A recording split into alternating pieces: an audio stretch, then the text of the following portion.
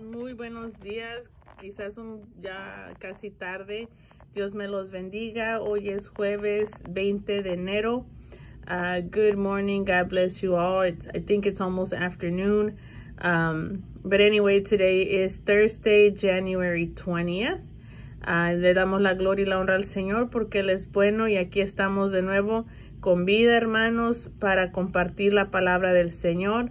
We thank the Lord because here we are one another day and that the Lord has given us and here we are ready to share the word of God. Hermanos, continuamos en Génesis capítulo 1 y vamos a leer el versículo 27. Amén. Uh, we continue in uh, Genesis chapter 1. Today we're going to read verse 27 and it's titled One with You y se titula Uno contigo. Amén. Y la palabra del Señor se lee en el nombre del Padre, del Hijo y del Espíritu Santo y dice, y creó Dios al hombre a su imagen, a imagen de Dios. Lo creó varón y hembra los creó. Gloria a Dios. Aleluya. And the word of God is read in the name of the Father, the Son, and the Holy Spirit. And it says, God created mankind in his own image. In the image of God, he created them male and female. He created them. Gloria a Dios, hermanos. Uh, no hay confusión, hermanos. El Señor creó a un hombre y a una mujer. A varón y hembra. There is no confusion, brothers and sisters. The Lord created a man and a woman, a male and a female. Praise the Lord. Amen. Um, vamos a ver qué es lo que dice el devocional. Let's see what the devotional says. Amen. It said, God is vast and mysterious. Dios es vasto y misterioso. Being neither male nor female, he had to create two genders to reveal the dimensions of his nature and character. Eh, él siendo ni varón ni hembra, tuvo que crear dos géneros para revelar la, las dimensiones de su naturaleza y carácter. Everything that exists contains demonstrations of his creativity and brilliance, but we are the ones who radiate the very beauty of God.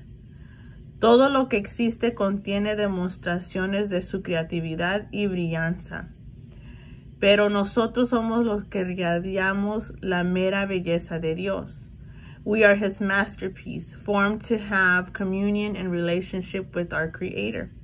Nosotros somos su obra maestras, formados para tener comunión y relación con nuestro Creador. The Lord took his own nature and likeness and fashioned a creature to be like him, one he could love with unlimited passion. El Señor tomó su propia naturaleza y semejanza y formó una criatura para ser como Él.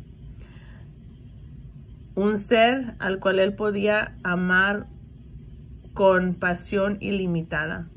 Humans who were created from dust yet filled with the divinity and nature of a holy, omnipotent God.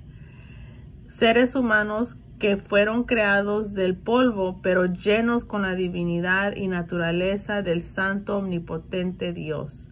We are meant to enjoy him in the warmth of mutual love. Fuimos creados para um, disfrutar de él en su amor caluroso y mutuo. Freely and openly we stand in his presence and commune. Libremente y abiertamente nos paramos en su presencia y unidad. Being one has been his divine idea since the beginning. Ser una, una sola, ser uno solo ha sido su idea divina desde el principio. Gloria a Dios, hermanos. Sabemos, ¿verdad?, que el Señor eh, es uno solo con el Señor Jesús y con el Espíritu Santo. Y en el Nuevo Testamento Jesús, ¿verdad? Cuando Él está orando uh, o hablando con el Señor, Él le dice, ¿verdad? Que, que nosotros también seamos uno con ellos. Amén. O con Él. Amén. Eh, así que desde el principio el Señor nos ha querido ser un, un, una, una, unidad, amén, una unidad eh, con el Señor.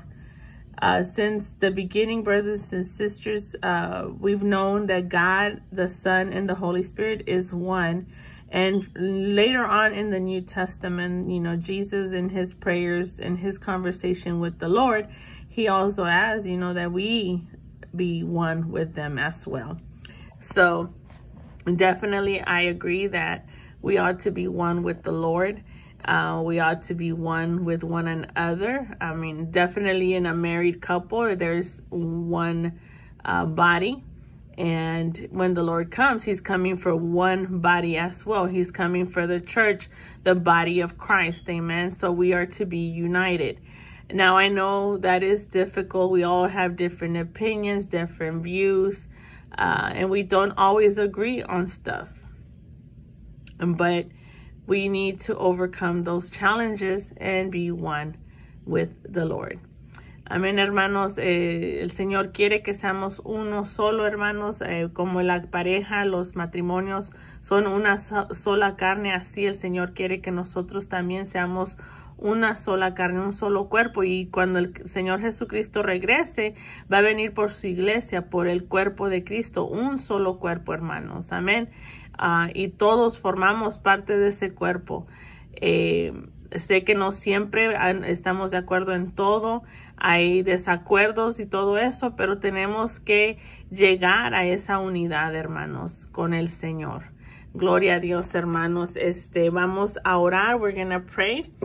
If you would like, please bow your head. Si gusta, por favor, incline su rostro. Amén. And it says, Dear Father, dice, querido Padre, I'm overwhelmed by the desire of your heart to be one with me.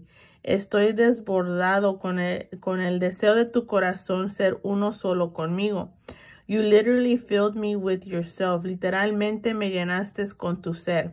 You love me so much that you want to continually commune with me. Tú me amas tanto que quieres estar continuamente en, en unidad conmigo to enjoy the beauty of our relationship at all times and to experience our oneness as your presence greets me each day, para disfrutar la belleza de nuestra relación en todo tiempo y experimentar nuestra unidad uh, cuando tu presencia me saluda cada mañana. En el nombre de Jesús, in the name of Jesus, amen. Brothers and sisters, may you all have a blessed day and I love you in Jesus' name. Tengan un hermoso día. Dios me los bendiga y los amo en el amor de Cristo. Amén.